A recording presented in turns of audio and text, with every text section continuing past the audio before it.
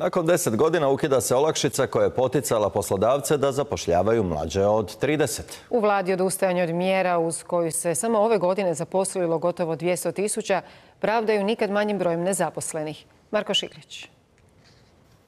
Mjera koja je uvela stotine tisuća mladih na tržište rada, pa tako i 29-godišnjeg ekonomista Luku ide svome kraju. Dobio je ugovor na neodređeno. Prije četiri godine zaposlen je u IT tvrtki u ljudskim resursima. Ove mjere koje su bile su, smatram, svim mladim ljudima uvelike pomogle, kako sa strane zaposlenika, tako od strane i poslodavca, koji su onda mogli dati priliku ljudima bez iskustva da se pokažu i da mogu zapravo napredovati nakon gotovo jednog desetljeća poreznom reformom ukida se olakšica koja je poticala poslodavce na zapošljavanje mladih. Doprinose za zdravstveno osiguranje dosad je za mlađe od 30 godina plaćala država, a od nove godine trebali bi ponovno poslodavci.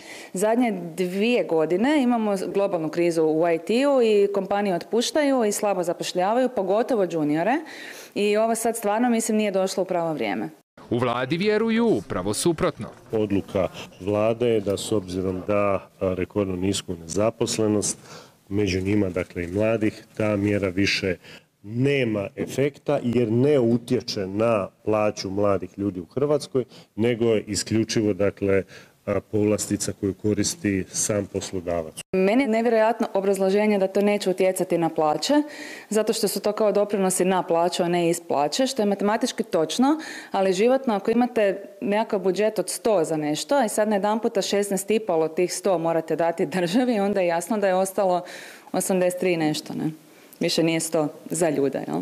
Fiskalna olakšica za zapošljavanje mladih uvedena je još 2015. u zadnjoj godini mandata vlade Zorana Milanovića. Na ovakav način samo u prvoj godini njezine primjene zaposleno je više od 33 tisuće mladih.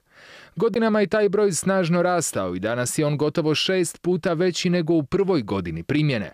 Točnije do 31. kolovoza uz fiskalnu olakšicu zaposleno je gotovo 190 tisuća mladih. Statistički pad nezaposlenosti je primjetan, znači sa 19 i nešto posto tada, danas smo na nekakvih 6%. Međutim, gledajući segment samo mladih, tri puta je više čak mladih nezaposleno u odnosu na ukupan taj segment. Tako da problemi dalje ostaje. Ukidanje mjere iznenadilo je i mrežu mladih Hrvatske. To je možda najveće iznadženje gdje su godinama pričali da će tu mjeru zadržati, pojačati, proširiti, a sada smo zapravo svjedoci da je ne samo da je ne proširuju, nego totalno ukidaju.